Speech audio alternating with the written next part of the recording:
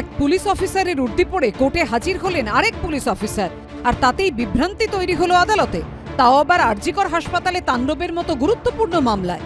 এই ঘটনায় ধৃতদের বৃহস্পতিবার আদালতে তোলা হয়। শতপ্রণোদিত এই মামলার অভিযোগকারী হলেন পুলিশ অফিসার অভিষেক ঘোষাল। বৃহস্পতিবার অভিষেক ঘোষালের নাম লেখা ব্যাচ পরে আদালতে আসেন এক পুলিশ কর্মী। অভিযুক্ত পক্ষের আইনজীবীর দাবি, ওই পুলিশ কর্মীকে দেখে তার সন্দেহ হয়। নাম জানতে চাইলে তিনি জানান, তার নাম অভিষেক ঘোষাল নয়। কিছু সমস্যা হয়, অভিষেক ঘোষালের পোশাক পরে আদালতে এসেছেন। অভিযুক্ত পক্ষের আইনজীবীর দাবি, এরপরই ওই অফিসারকে নামের ব্যাচ খুলতে এবং কাঠগড়া থেকে নেমে যেতে নির্দেশ দেন বিচারক। আজকে যখন প্রসিকিউশনের তরফ থেকে রিপ্রেজেন্ট করছেন যিনি ইনভেস্টিগেশন অফিসার তো আমারও তো জানা উচিত যে উনি কে, কি নাম, তার কারণ আমরা যখন কোনো কেসে অ্যাপিয়ার করি, আমাদের নাম এনরোলমেন্ট নাম্বার সব কিছু দিয়ে আমরা অ্যাপিয়ার করি। তো যিনি প্রসিকিউশনের তরফ থেকে এসছেন, তাই তাকে জিজ্ঞেস করা হয় তার পরিচয় এবং যেই নেম প্লেট ওখানে ব্যবহার করা হয়েছিল, সেই নাম আদৌ ওনার নয় এবং অন্য নেম প্লেট উনি নিয়ে আসেন এবং লার্নেট কোর্ট যিনি ছিলেন তা তিনি জিজ্ঞাসা করেন ওনাকে যে, এই নাম কি আপনার? তখন উনি বলেন, না, এটা আমার নাম নয়। এবং তাকে নির্দেশ দেওয়া হয়, সেই ব্যাচটি যেটা উনি পড়েছিলেন সেটি খুলে উনি রেখে দেন।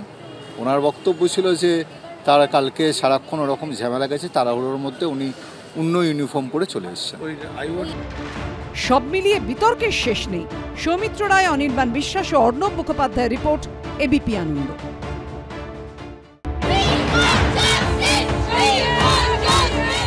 আরজিকর মেডিকেলে চিকিৎসকের ধর্ষণ খুন তার প্রতিবাদে আন্দোলন রাতের দখলে মেয়েরা।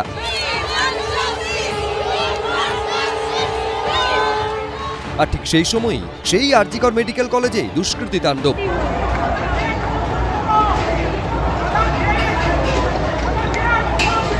এই পরিস্থিতিতে শুক্রবার বারো ঘণ্টার সাধারণ ধর্মঘটের ডাক দিল এসইউসিআই। কার্যত সমর্থনের ঘোষণা করল BJP.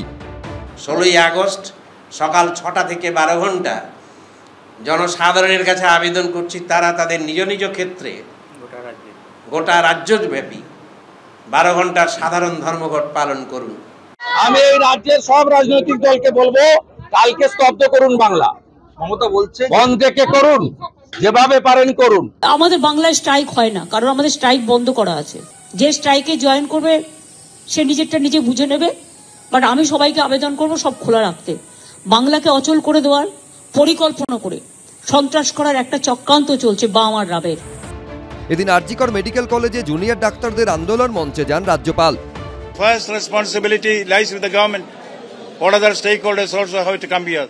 The law has to come in force. The, what the youngsters are asking is very just. They say we want justice. They want security. When you go for work, eh, particularly at night, there should be a security that you will be able to return alive. That security is not here in Bengal. নিরাপত্তার দাবিতে এদিন নবনিযুক্ত অধ্যক্ষকে ঘিরে বিক্ষোভ দেখান RG Kar medical কলেজের nursing স্টাফরা। পুলিশের সাহায্যেই কালকে গন্ডগোল হয়েছে। পুলিশ পুলিশের সাহায্যে হয়েছে? পুলিশের সাহায্যে পুলিশ কেন বলছে? পুলিশ সরে গেছে গুন্ডারা ঢুকেছে। পুলিশের দরকার নেই। কালকে যখন গন্ডগোলের সময় পুলিশ ছিল না আজকে পুলিশ লাগবে না। আরজিকর মেডিকেলে দুষ্কৃতী তাণ্ডবের প্রতিবাদে শিয়ালদা স্টেশনে জমায়েত করে মিছিল করতে গেলে এসএফআই এবং ডিওয়াইএফআই কর্মী সমর্থকদের বাধা দেয় পুলিশ। এদিকে মুখ্যমন্ত্রীর পদত্যাগের দাবিতে শুক্রবার দুপুর দুটো থেকে বিকেল চারটে পর্যন্ত রাজ্য জুড়ে অবরোধের ডাক দিয়েছে বিজেপি। বিকেলে মুখ্যমন্ত্রীর বাড়ি পর্যন্ত মোমবাতি মিছিল করবে বিজেপির মহিলা মোর্চা। পাল্টা চিকিৎসককে খুন ধর্ষণের প্রতিবাদে শুক্রবার পথে নামছেন মমতা বন্দ্যোপাধ্যায়ও। এবিপি আনন্দ।